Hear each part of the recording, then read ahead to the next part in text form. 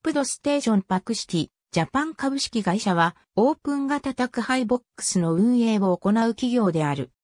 フランスに本社のある郵便料金計器大手のネオポストは2014年にフランス郵政公社の子会社ジオポストと提携し、フランス国内にオープン型宅配ボックスパクシティを展開している。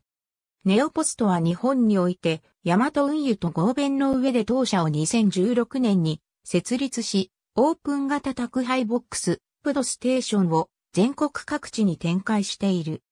ABCDE Packcity Japan 株式会社第3期決算公告、 GeoPost Neopost, to partner on major parcel terminal network, in France。Post Parcel、2019年12月7日、閲覧。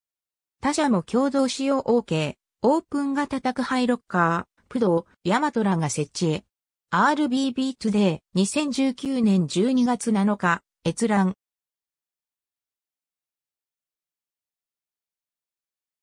宅配便は、駅で受け取る時代に、ヤマト運輸が首都圏と京阪神で、受け取りロッカー設置中。J、キャストトレンド。2019年12月7日閲覧。DHL ジャパン株式会社のプドステーション利用開始についてパクシティジャパン https コロンスラッシュスラッシュ www.packcity.co.jp スラッシュ sites スラッシュ packcity.co.jp スラッシュファイルスラッシュ pcj20161212 PDF2019 年12月7日閲覧オープン型宅配便ロッカー。プドステーションの設置台数千台を突破しました。 Packcity Japan http コロンスラッシュスラッシュ packcity.co.jp スラッシュ sites スラッシュ